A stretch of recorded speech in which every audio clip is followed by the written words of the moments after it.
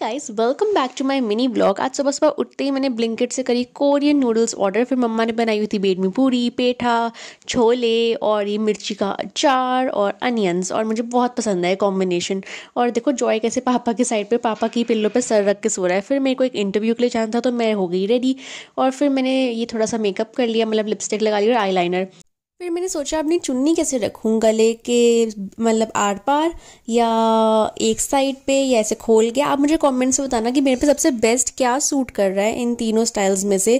फिर मैं अगली बार से वैसा ही रखूँगी। और फिर बस हम निकल गए इंटरव्यू के लिए। पापा ने मुझे रास्ते में बुलाया कोकोनट वाटर इसमें इतना सारा पानी था ना मतलब कि मैं क्या बताऊँ? मेरा पेट ही भर गया, मुझसे पूरा ख़त्म ही नहीं हो रहा था। फिर ये कलर बार से मेरा एक आई आया था। ट्राई करके इसको रिव्यू बता दूँगी। चलो बाय